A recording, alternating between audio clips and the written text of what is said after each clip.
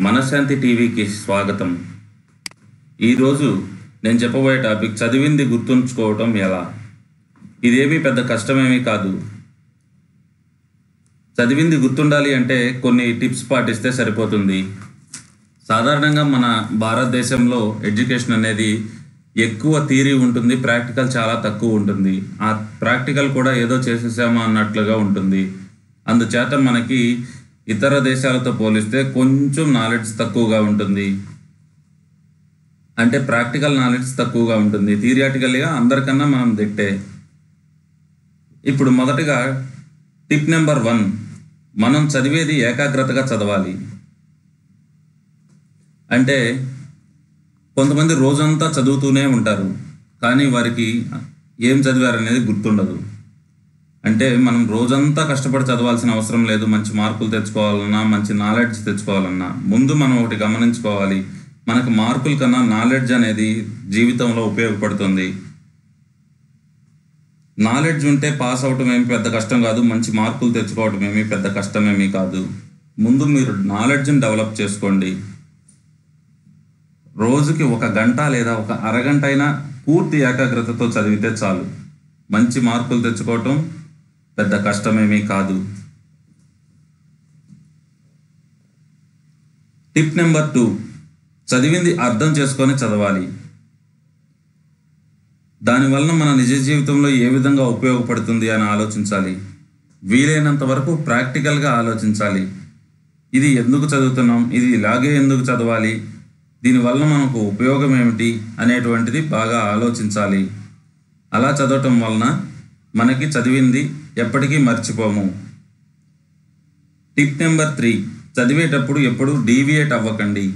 Mobile ఫోన్స్ను electronic డివైజెస్ను పక్కన ఉంచుకోవటం వలన అవి చేసే శబ్దానికి మన మైండ్ అనేటువంటిది డీవియేట్ అవుతూ ఉంటుంది. మీకు ఎంతో అవసరమైన కాల్స్ను తప్పితే మిగతా వాటిల్ని కాల్స్ను అటెండ్ చేయకండి. Tip number four. చదివిన దానిలో కీ పాయింట్స్ని మాత్రం గుర్తుంచుకోండి. మొత్తం మ్యాటర్ అంతా చదివేదానికన్నా కీ పాయింట్స్ని గుర్తుంచుకోవటం వలన ఆ ఆ మ్యాటర్ మొత్తాన్ని కూడా మనకి గుర్తుకు చేస్తుంది. Tip number five. నిశ్శబ్దమైన వాతావరణంలో చదవండి. చదివింది ఒక సినిమా కథలా ఇమాజినేషన్ చేసుకొని చదవండి. ఎందుకంటే మనం చదివిన దానికన్నా కూడా చూసింది మనకి ఎక్కువ కాలం గుర్తుంటుంది. మనం రెండు సంవత్సరాల క్రితం చూసిన సినిమాను కథ మొత్తాన్ని కూడా మనం చెప్పగలం. అందులో ఉన్న పాత్రలు ఎవరు వేశారనేది కూడా మనం చెప్పగలం. పాత్రల పేర్లు కూడా చెప్పగలం. అదే అదే మాదిరిగా మనం చదివేది ఒక కథలా ఊహించుకొని చదివితే ఇది ఎక్కువ కాలం గుర్తుండేటువంటి అవకాశం ఉంటుంది. Tip number six. చదివిన దాన్ని వేరొకరితో డిస్కస్ చేయాలి. ఇలా డిస్కస్ చేయటం వలన మనం తొందరగా మర్చిపోము. మనలో కొంతమంది వేరొకరితో డిస్కస్ చేయటం వలన మన జ్ఞానం అంతా వారికి వచ్చేస్తుందని ఫీల్ అవుతుంటాం. మనకి కావాల్సింది జ్ఞానం. మార్కుల గురించి ఆలోచించకండి. మార్కులు వాటంతట అవే వస్తాయి. నాలెడ్జ్ అనేది మనకి ముఖ్యం మార్కుల కన్నా. మీరు కావాలంటే చూసుకోండి. పోటీ పరీక్షల్లో కానీ ఇతర ఇంటర్వ్యూల్లో కానీ మార్కులు ఎక్కువగా వచ్చిన వాటికన్నా కూడా నార్మల్ మార్క్స్ వచ్చి ఎక్కువ నాలెడ్జ్ని ఎవరైతే చూపిస్తారో వారినే వారు తీసు ఉద్యోగాన్ని ఇవ్వటానికి ఇష్టపడతారు. ఒకవేళ చరిత్ర చదివే విద్యార్థులైతే ఎవరి గురించి చదువుతున్నారో ఆ పాత్రలో మిమ్మల్ని ఊహించుకోండి. మిగతా పాత్రలలో మీ స్నేహితులను ఊహించుకోండి.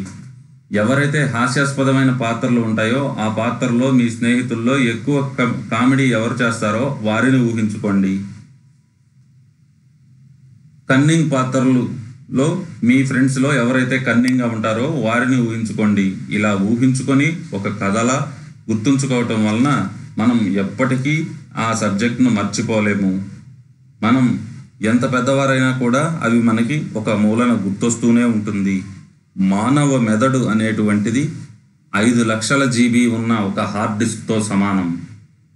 అంటే ఇది కంప్యూటర్కి సూపర్ కంప్యూటర్ తోటి సమానం. నిజమైన టిప్స్ పాటించడం వలన మనకి తొందరగా మర్చిపోయే స్టేజ్ తగ్గిపోయి మనం ఎక్కువగా గుర్తుంచుకోగలుగుతాం. ఈ వీడియో ఇంతటితో సమాప్తం. ఈ వీడియో కనుక మీకు నచ్చినట్లయితే లైక్ చేయండి షేర్ చేయండి దయచేసి సబ్స్క్రైబ్ చేయండి.